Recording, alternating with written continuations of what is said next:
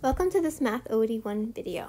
In my previous videos, I defined slope and also helped you determine whether the slope of a graph line was positive, negative, zero, or undefined. I also created a video where we determined the slope of a line given a graph, the graph. We're not quite on um, part D yet. We're going to just do more examples of graphing a line and finding, or sorry, finding the slope of a graph line. So let's get started. Here's our first example.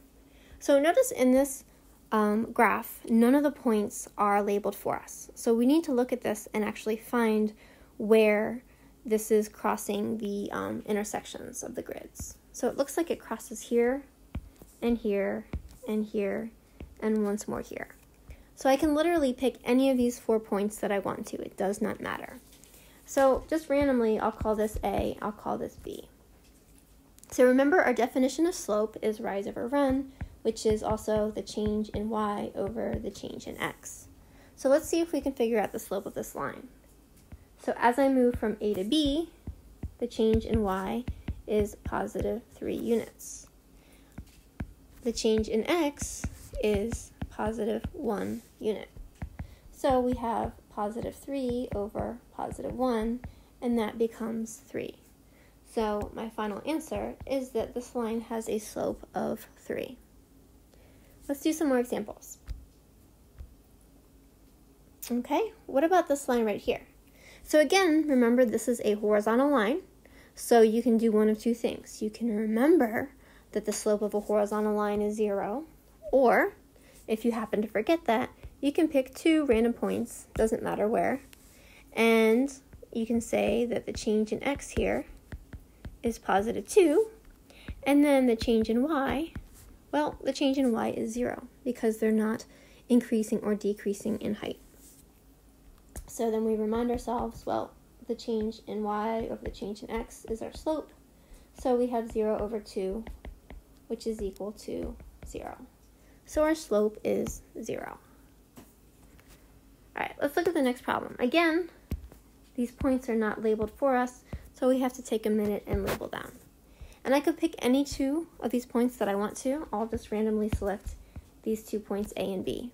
Remember, a good practice is to pause this video, see if you can find the answer on your own, then unpause it and find out if you were correct or incorrect. The more interactive you can be with these videos, the better off you're going to be. So, remember we're trying to find the change in y over the change in x.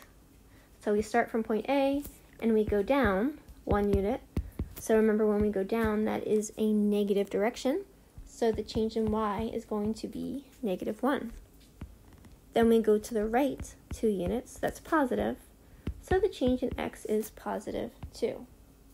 So overall, our slope is negative 1 over 2, or negative 1 half.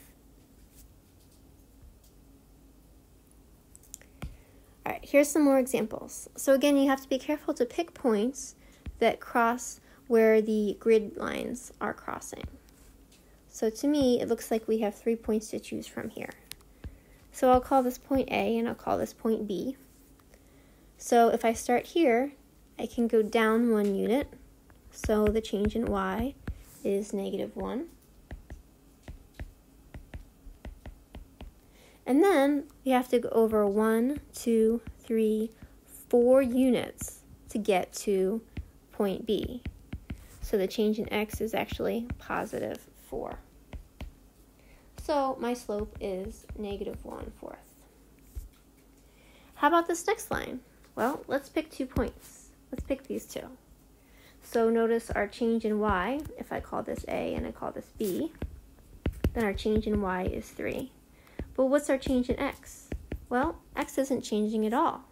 So we have delta y over delta x which is 3 over 0, which is undefined. Okay, and again, if you just look at this and recognize that it is a vertical line, and you jump straight to the fact that it's undefined without doing any math in between, that's okay too.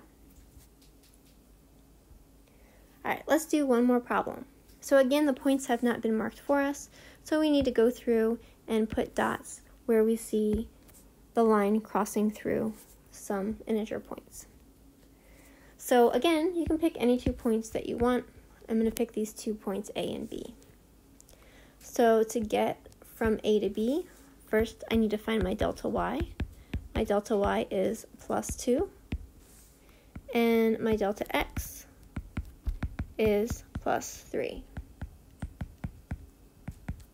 So I have 2 over 3, so the slope of this line is positive 2 thirds.